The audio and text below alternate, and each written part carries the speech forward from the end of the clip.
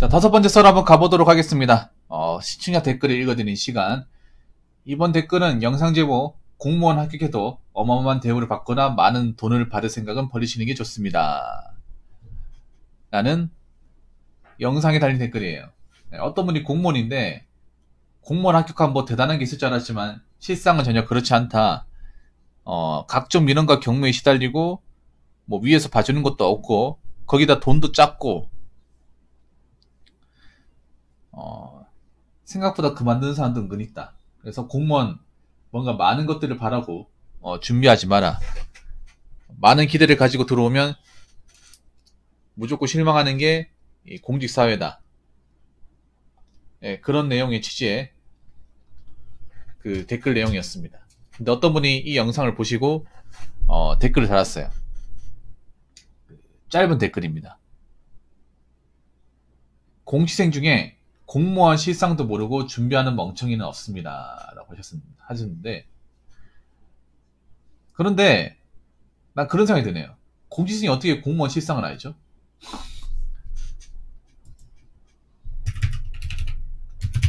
공지생이 어떻게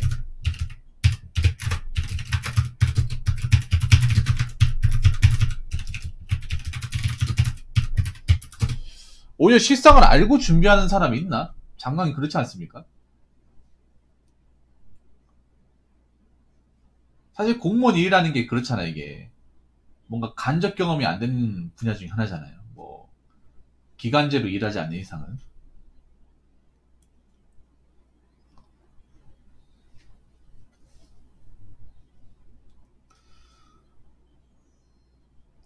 근데 아직까지도 저는 그렇게 생각해요. 아직까지도 그 공무원 수험생들 중에 공무원의 현실을 모르고 준비한 사람들 꽤 많습니다.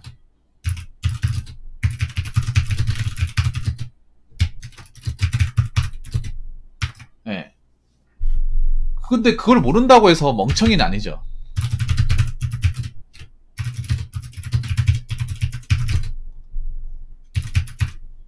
왜냐, 이 공무원 시험이 절대 멍청한 사람은 이 붙을 수가 없는 시험이거든요. 어, 이영희 형님 어서 반갑습니다. 근데 직업군인하고 또 공무원하고 달라요. 이영희 형님. 직업 공무원하고 뭐 직업 군인도 공무원인데 다르죠.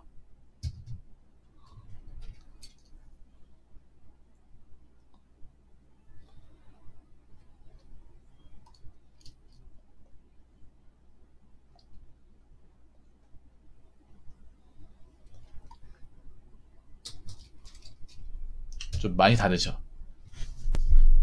공무원 시험이 멍청한 사람 못 붙죠. 그리고 공무원 시험을 치는 사람들이 수준이 높잖아요. 그 공부를 하는 사람들 수준이 굉장히 높잖아요.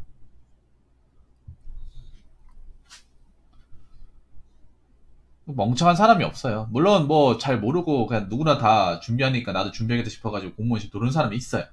있는데 멍청하지는 않습니다. 그리고 문제는 뭐냐면 이런 거죠. 공무원을 음, 실상을 알았다면 이렇게 많은 사람들이 준비할까요?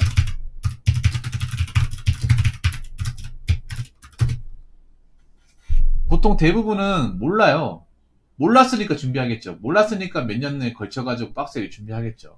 장군 강의도 몰랐으니까 준비했겠죠. 확실히 알고 준비했으면 무작정 준비하진 않을 거예요. 네, 무작정 많이 준비하진 않을 겁니다.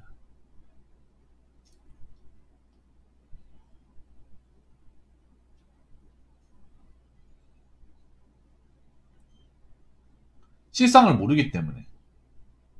네. 아직도 많은 사람이 준비하는 거죠. 물론 공무원이 그만한 어떤 그런 그 장점이 있으니까 하는 거고. 근데 문제는 뭐냐면 많은 공무원 수험생들이 장점만 보고 준비하는 사람들 아직도 많이 있어요. 옛날에 지금. 예. 네. 아니 길 가다 여러분 공무원 수험생 있으면 아니면 여러분 주변에 공무원 수험생 있어 물어보세요. 너 공무원 왜 준비하냐? 물어보면 거의 앵무새만 똑같은 얘기합니다. 안 잘리잖아. 어, 정년 보장 되잖아. 호봉 올라가잖아. 뭐 일 못해도 안 잘리잖아. 이런 얘기 합니다. 어떤 진이 얘기해도 장건강님도 수험생 시절에 만약에 누가 공무원 시험 준비한다고 너 왜 준비하냐고 물어봤으면 장건강님 똑같이 얘기했을 거예요. 저도 예전에 경찰 준비할 때도 똑같이 얘기했어. 어쩔 수 없어 아는 게 그밖에 없으니까.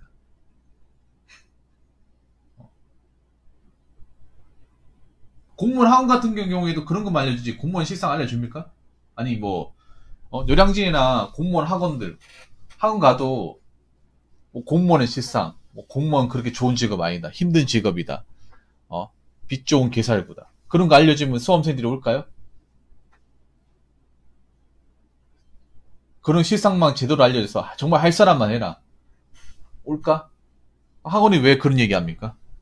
몇 명이나 더 유치시켜야죠 유치시켜가지고 강의를 더 해야 학원 입장에서 이득 아닙니까? 굳이 실상을 얘기해봐야 좋을 게 없죠.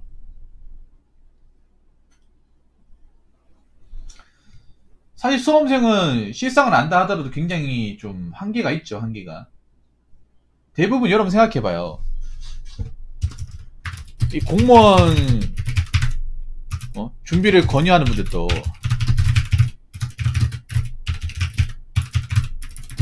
그 신입 공무원들이 겪어야 할 어떤 어려움과 실상에 대해서는 모릅니다.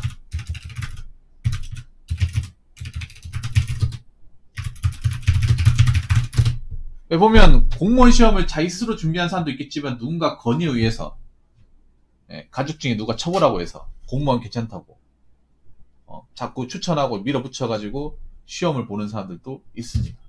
많죠. 옆집에 누가 붙었다고 하는데 너도 될 것 같아서 해봐라.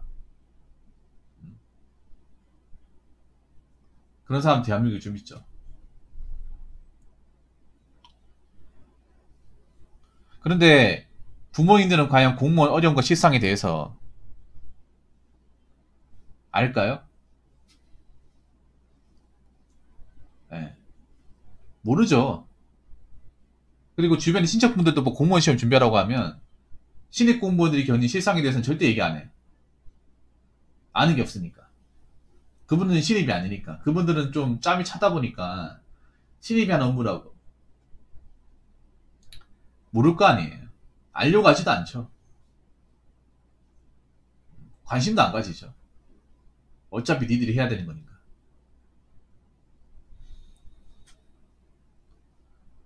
그래서 거의 모르는 상태에 준비를 해요. 네, 모르는 상태에서. 그냥 뭐 뉴스에서 나오는 얘기들, 뭐 안 좋은 얘기들, 그런 거 뭐지. 근데 사실 어떻게 보면 수험 공부하다 보면 뉴스에 어떤 얘기 나오는지도 몰라요. 의원면직 관련 얘기도 못 듣습니다. 그냥 공무원 학원 가가지고 그냥 체포 가는데 바빠가지고 정작 실상에 대해서는 정보를 취득할 수 없죠. 그 뉴스에서 한번 등장하는 거? 그거 말고는 뭐 없지.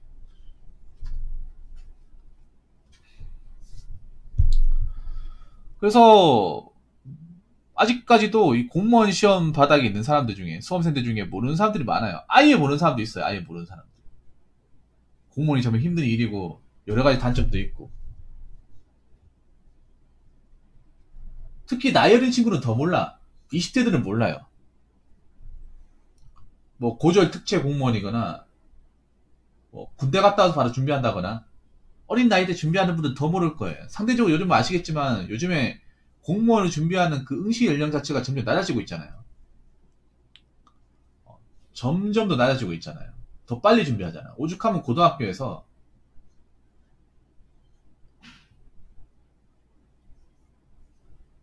공무원 입시반도 만들었을까요? 공무원 학원 같은 데 가도 고등학생들 입시반 받아요. 그래서 뭐 교복 입고 공부하는 사람도 있어. 어, 근데 그 친구들이 그걸 알까? 실상에 대해서 알까요? 우리 주변 사람들은 실상에 대해 알려주기보다 공무원에 대해서 야 공무원 좋다. 어 결혼하기도 좋고 신용도 높아가지고 대출도 잘 되고 어 잘리 걱정 안 해도 되고 부모님 좋아하시고 이만한 직업이 없다. 다 좋은 얘기만 들어요. 죄다 좋은 얘기만 들어. 오히려 너, 오히려 막 공무원 시험 준비하는데, 야, 너 하지 마라. 어, 젊은 애들 고생 엄청 많이 하더라. 내가 보니까. 어, 공무원 복지 점점 안 좋아져. 너 이거 왜 하려고 하냐? 이렇게 얘기하는 분들도 못 봤던 것 같아. 장강님 생각해보세요. 장강님. 공무원 시험 준비할 때 주변 사람들이 야 너 공무원 준비하지 마. 너 그거 왜 하려고 하냐. 앞으로 안 좋아질 텐데. 이렇게 얘기하는 사람 본 적 있습니까? 저는 한 명도 본 적이 없어요. 일단 수험생이 실상에 대해 파악하는 데 한계가 있고 그 실상을 얘기해 주는 분도 없어요. 실상에 대해서 제대로 이렇게 파악하고 얘기해 주는 사람도 없어. 그냥 야 그래도 준비 잘했다. 그래 요즘 시기에 공무원 많은 직업이 없지 어설프게 어, 어? 이상한 데 가가지고 돈 어? 돈을 벌지도 못하고 예. 네.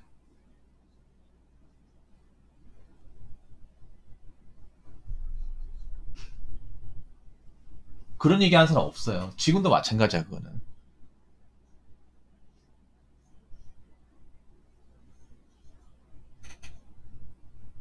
그 달토끼님은 공무원이세요?